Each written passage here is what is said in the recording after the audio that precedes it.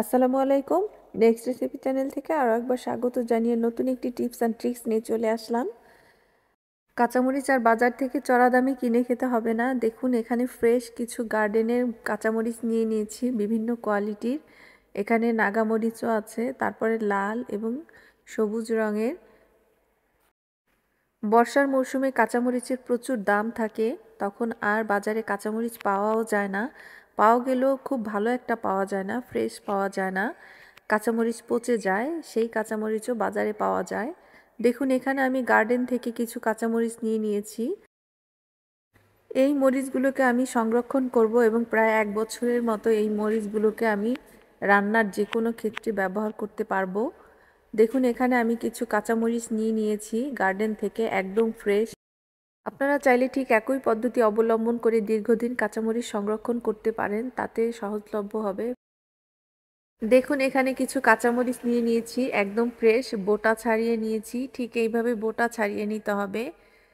কাঁচামরিচগুলোকে আমি বোটা ছাড়িয়ে ঠিক এইভাবে একটি ঝাঁঝিতে নিয়ে আমি ধুয়ে নিয়েছি খুব ভালো করে ফ্রেশ পানি দিয়ে দুই তিনবার এখন তারপর আমি একটি ক্লিন কাপড়ের উপরে কাঁচামরিচগুলোকে বিছিয়ে দিয়েছি।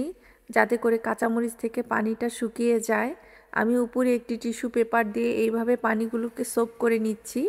তারপরে আবার কাঁচামরিচটা আমি ফ্যানের বাতাসে শুকিয়ে নেব।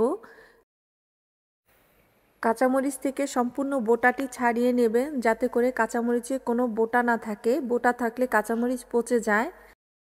তারপরে ঠিক এইভাবে একটি ফ্যানের বাতাসে কাঁচামরিচগুলো শুকিয়ে নেবেন। দেখুন এখানে আমি লাল মরিচগুলো আলাদা করে নিচ্ছি। তারপরে দেখুন, একটি এয়ারটাইট ব্যাগ নিয়ে নিয়েছি ডিপ ফ্রিজে কাঁচামরিচ সংরক্ষণ করার জন্য। দেখুন, এইভাবে আমি খুব ভালো করে পানি ঝরিয়ে কাঁচামরিচগুলো ব্যাগের মধ্যে তুলে নিচ্ছি। একটু পানি যেন না লেগে থাকে মরিচের গায়ে, এইদিকে লক্ষ্য রাখতে হবে, এই টিপসটি ফলো করতে হবে। দেখুন, পরিমাণ মতো কাঁচামরিচ ব্যাগের মধ্যে আমি নিয়ে নিচ্ছি। তারপরে আমি দেখুন, এখানে বাতাস বের করে দিচ্ছি। ব্যাগের ভিতরে যে বাতাসটি আছে, ওই বাতাসটি বের করে এয়ার টাইট করে দিতে হবে। এইভাবে দেখুন, আমি অনেকগুলো কাঁচামরিচ ব্যাগের মধ্যে তুলে নিয়েছি। প্রায় বেশিরভাগই কাঁচামরিচ একটা ব্যাগে তুলে নিয়েছি। এই কাঁচামরিচ থেকে দেখুন, এইভাবে আমি এয়ার টাইট করে চেপে এয়ার টাইট করে দিচ্ছি। তারপরে এই মরিচটি ফ্রিজে রেখে দিলে আর কিচ্ছু হবে না। এক বছরের মধ্যেও আর এই মরিচটি কিচ্ছু হবে না।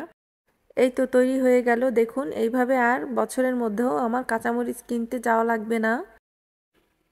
এখানে আমি একটি শুকনো কন্টেনার নিয়ে নিয়েছি। দেখুন, এখানে কোনো পানি যেন কন্টেনারে লেগে না থাকে। এই দিকে খেয়াল রাখতে হবে। এই কন্টেনারের মধ্যে আমি একটি টিস্যু পেপার বসিয়ে দিলাম, ঠিক এইভাবে। তারপর আমি কাঁচামরিচগুলো তুলে নিচ্ছি কন্টেনারের মধ্যে। দেখুন, ঠিক এইভাবে সব কাঁচামরিচগুলো তুলে নেবেন।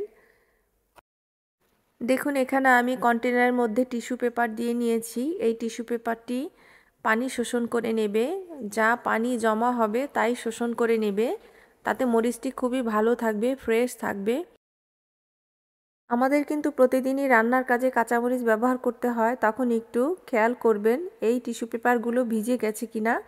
ভিজে গেলে আবার নতুন করে একটু টিস্যু পেপার দিয়ে নেবেন, চেঞ্জ করে নেবেন টিস্যু পেপারটি। সব মরিচগুলো তুলে নিয়ে তারপরে আমি মরিচগুলো বসিয়ে দিচ্ছি খুব ভালো করে। যাতে করে একটি টিস্যু পেপারও ভিতরে খুব ভালো করে সেট হয়ে যায়। এরকম একটি টিস্যু পেপার নিয়ে ঠিক এইভাবে মুড়িয়ে তারপরে মরিচের গায়ে উপরের অংশে এইভাবে সেট করে দেবেন।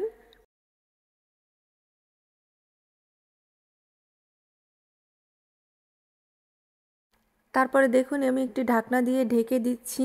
এইভাবে মরিচ রাখলে প্রায় এক মাসের মধ্যে কিচ্ছু হবে না। মাঝে মাঝে একটু চেক করে টিস্যু পেপারটি পাল্টে দেবেন, তাহলে আর মরিচ এক মাসের মধ্যেও কিচ্ছু হবে না।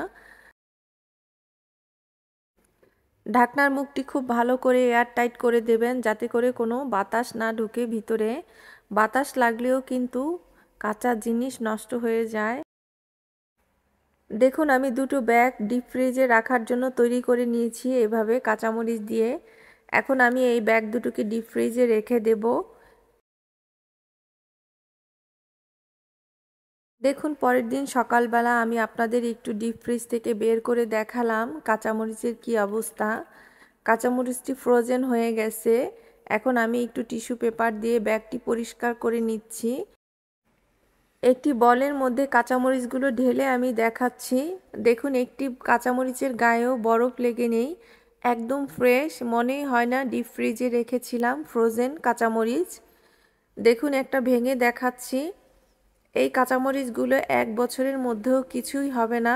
সাথে সাথে নামিয়ে তরকারিতে বা যে কোনো রান্নার ক্ষেত্রেই ইউজ করতে পারবেন। দেখুন, মনেই হয় না যে এগুলো ফ্রোজেন কতটা ফ্রেশ লাগছে। ভিতরটা একদমই ফ্রেশ দেখুন, কত সুন্দর ফ্রেশ এখন থেকে আর চড়া দামে বাজারে গিয়ে কাঁচামরিচ কিনে খেতে হবে না। এইভাবে সংরক্ষণ করুন। আশা করি আজকের টিপস অ্যান্ড ট্রিক্সটি খুব ভালো লেগেছে। সবাই ভালো থাকবেন, সুস্থ থাকবেন। আল্লাহ হাফেজ।